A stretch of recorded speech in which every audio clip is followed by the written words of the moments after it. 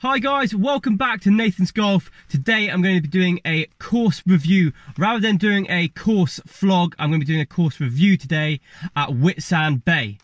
A little information on Whitsand Bay. Whitsand Bay is 5,517 yards off the yellow tees. If you're an 18 handicapper, that is probably what you're going to be playing off. And it's a 70 par course. So Whitsand Bay is located in the United Kingdom, in Cornwall on the south coast in between Plymouth and Looe. Just above Portwrinkle you'll find the golf course on the cliff tops right here. As you can see it's right on the cliffs there. The course is quite easy to find and the sat nav takes you straight there. So all you need to do is pop in Whitsand Bay and it'll take you right here. So, as you can tell, I'm not at the course. I played there yesterday. So, further ado, let's skip over and have a little look at Whitsand Bay.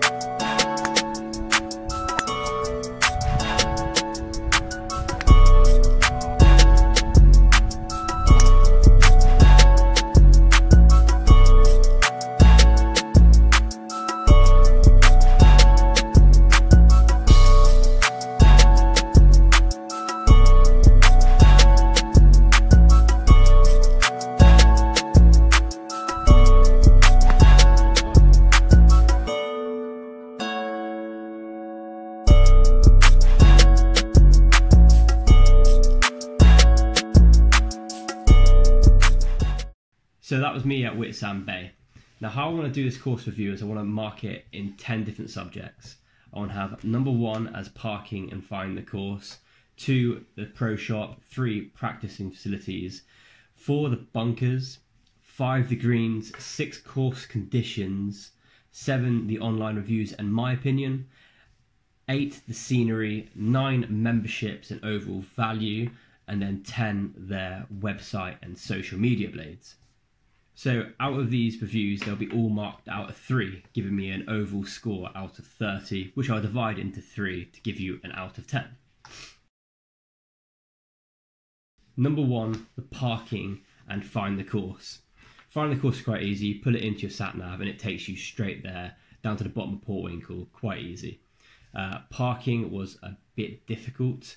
Um, you literally turn up into this little car park. I mean, if you're going in a midday week, you'll be all right. Um, but at the weekend, it was quite busy. We had to kind of double up parking, so you double two up, and you had a little pay through, and then double up the other side. So it was quite hard. So I'd definitely recommend turning up a little bit earlier. Um, I'd probably mark that down a little bit, so two out of three. So number two, the pro shop. The pro shop had everything in it. It had tees, golf balls, uh, clothing, and the pro behind the bar was really helpful. Uh, told us how it was today, like how it'd be drying up and how the course would play. So I would mark that three out of three. Very helpful. Good clubhouse. Number three is the practicing facilities. Um, when you turn up to Whitsand Bay, they've got a putting green that is very similar to the greens on the course.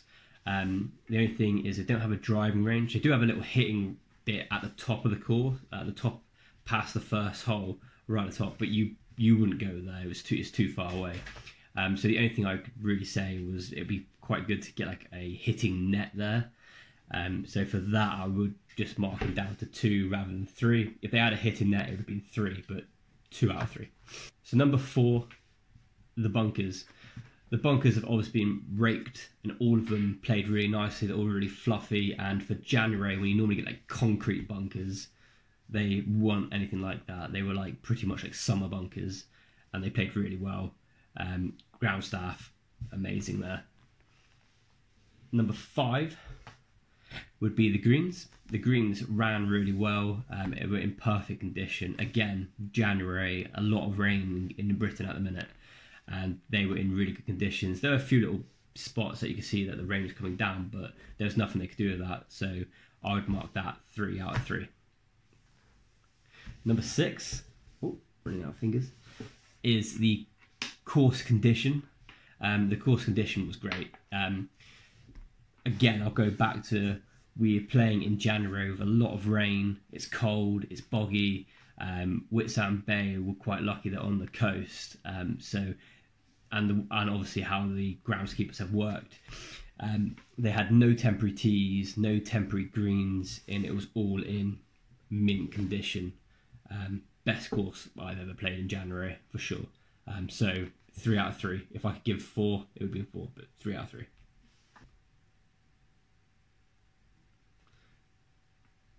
Number seven, online reviews and my opinion.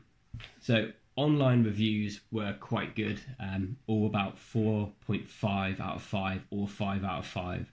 They always have a really good following and everyone loves the course. Uh, my personal opinion was the course played really well. Um, there was nothing I could doubt with the course, and it is probably now my favourite course in Cornwall. So, three out of three, easy. Number eight. Can't count. Number eight is the scenery. It's a beautiful course up at Whitsand Bay, looking down on Portwrinkle. Every hole had a different kind of view. So as you walk up the first, you look back and you could just see the little, uh, I guess it's a castle, kind of manor house castle. You look back at that. Then you get to the first and you kind of cut back across and you look across at the sea every hole had a different bit of scenery.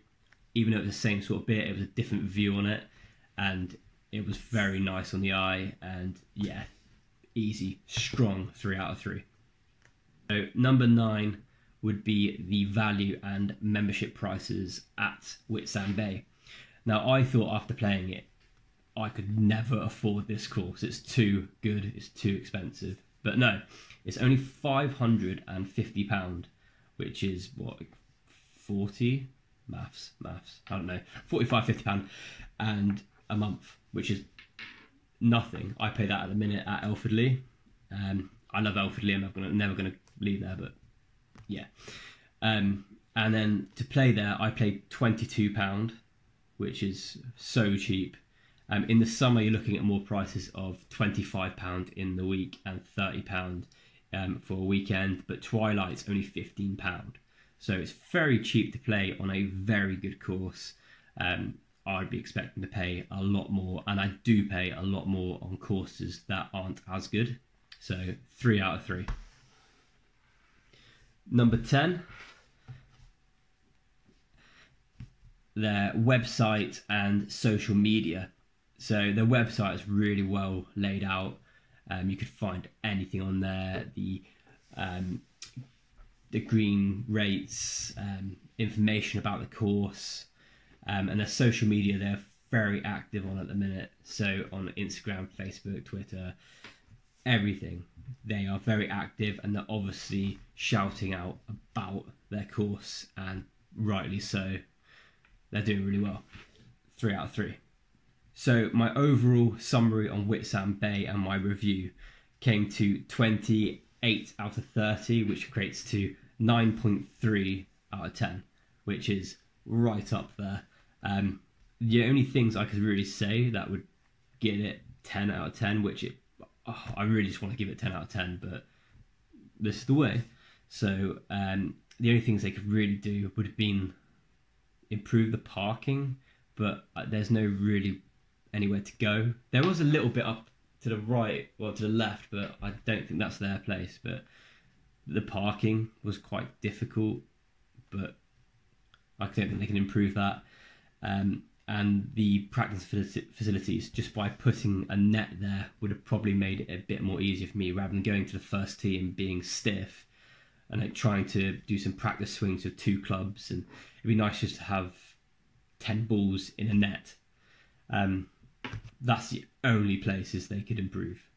It's amazing out there, and the scenery is second to none. It's prob it, no, it is my favourite course in Cornwall at the minute. Um, memberships dirt cheap. Um, obviously, they've I think they've had something go on with it was owned by the um, the, the, castle where the manor house or whatever it is, then it's gone towards a trust or or something like that. I mean, if you go down there and ask, they'll they'll talk to you about it. They did talk to me about it, but in there out. So that's my course review. Um, I thought I'd do something a little bit different here and not do a vlog as such, which everyone does. Just do a review straight to the point, how an 18 handicapper would review a course, and that's how I'd re- review Whitsand Bay. Um, end of the day, will I be back? 100%. It's a great course. Um, I'll be back next Wednesday with another video, and every month I'll try to get another review out for you guys, if not more. I hope you enjoyed the video, and I will see you next time. Yeah, yeah, yeah,